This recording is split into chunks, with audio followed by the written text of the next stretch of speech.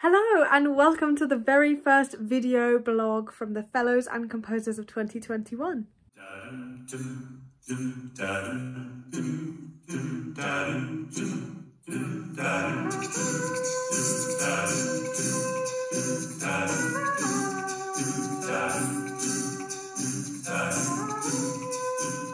My name is Shivani and I'm going to be filming all of our National Youth Choir's activities throughout April, of which there are a lot. So currently we are on the Training Choir Spring course and we've had some amazing sessions so far with Lucy Joy Morris and Adam Hope. We just had a just finished a Kodály session uh, on solfa signing and other things like that. Yesterday they had some wonderful Alexander technique and other singing sessions. Even though we're on Zoom, we're still getting so much out of the sessions, which is excellent and it's so great to be able to do all of the regular stuff that we would be doing in person just on Zoom.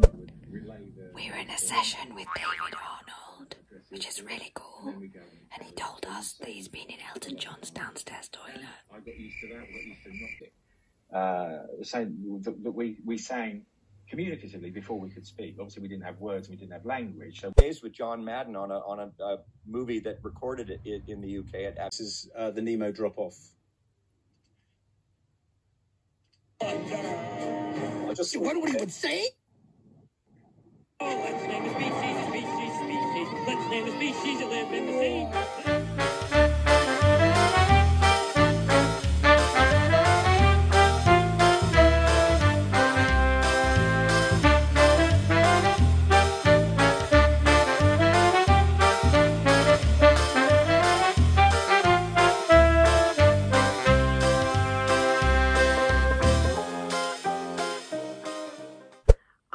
Still in complete awe of the sessions yesterday. We had uh, a Zoom call with Thomas Newman, Hollywood composer, who wrote on films like Bond and 1917 and Shawshank Redemption and the Nemo films.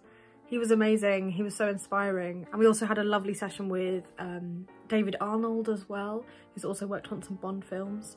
I was just in awe of the opportunities that the, these young people get and, and us fellows and composers as well to sit in on those sessions. It's, it's amazing. So good job NYC. Yeah. And now we've got a session with some swingle singers. probably like a forest fire, but some some threat. Uh, I think will be sort of the chorus of the song. Um, there's m- m- much more of a pop.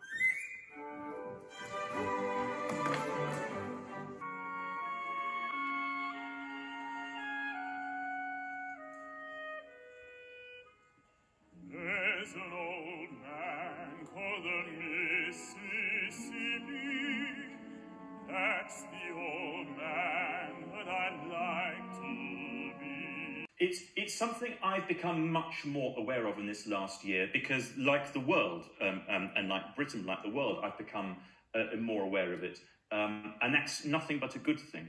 My own personal experience is that um, I, I, I think I'm speaking truthfully when I say that the colour of my skin has not been an issue for me at all until possibly this last year, when I've been forced to confront it because people people it, I don't see it because I'm inside looking out.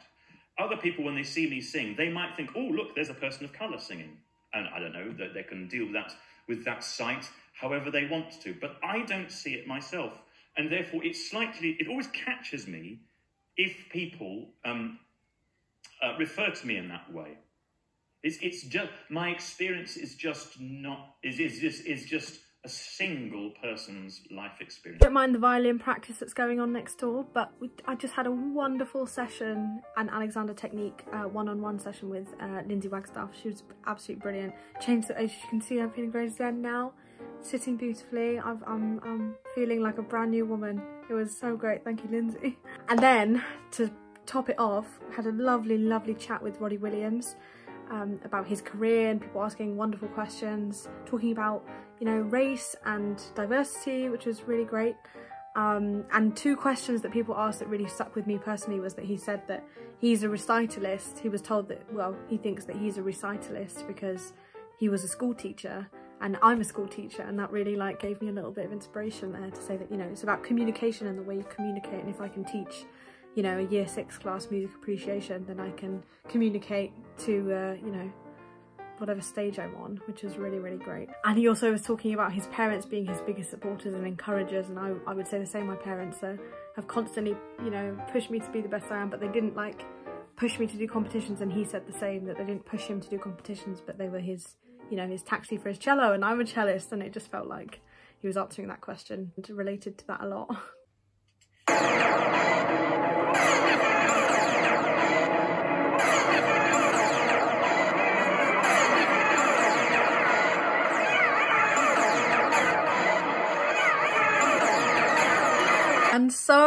course has come to an end. We just ended with Shiva Feshareki uh, giving us a talk on her music and the piece that she's writing for this summer for them.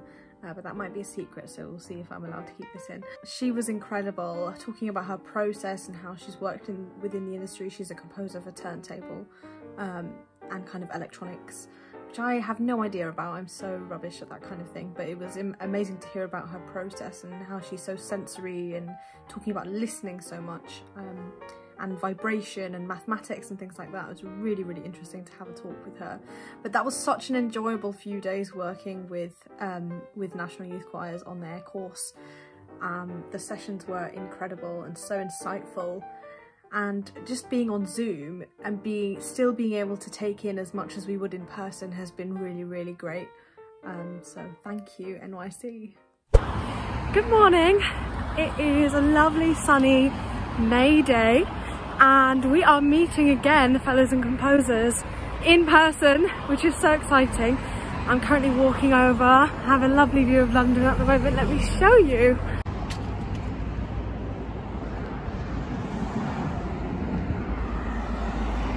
making music with people in person. Um, I've done a tiny, tiny bit over the last few weeks, um, and it's just been a real joy every single time. So, um, Turn around.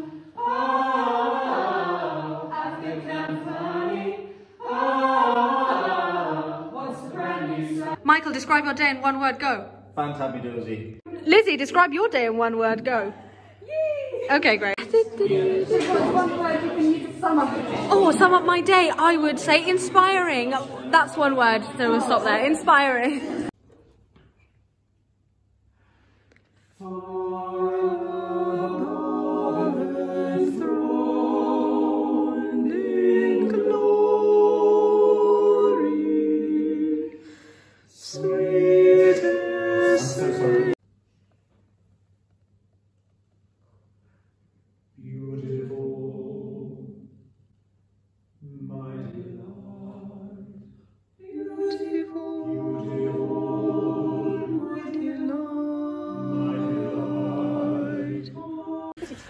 How did it feel to conduct again after a year of not conducting? Wow! Anything more profound? Really, it was so great to work with people again, face to face, and Yeah. them responding to you. Yeah, that was nice. get to where he is now and were there like golden moments in your career that suddenly you thought this is this is what's going to happen to me and this is this is a seminal moment or did it just kind of unfold as it's gone along do you see what i mean is we're just going to hum a note and we're going to start it, we're going to go soft and then we're going to get louder and then we're going to go softer. So, hum. So, so hum, start very soft and then get louder and get softer.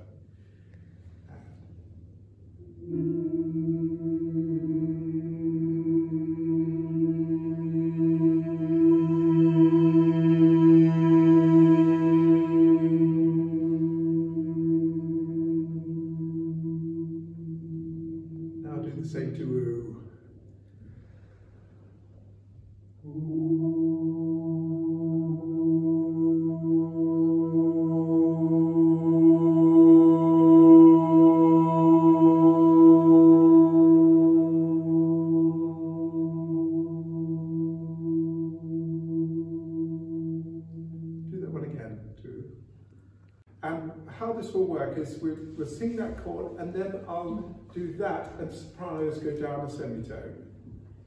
And then to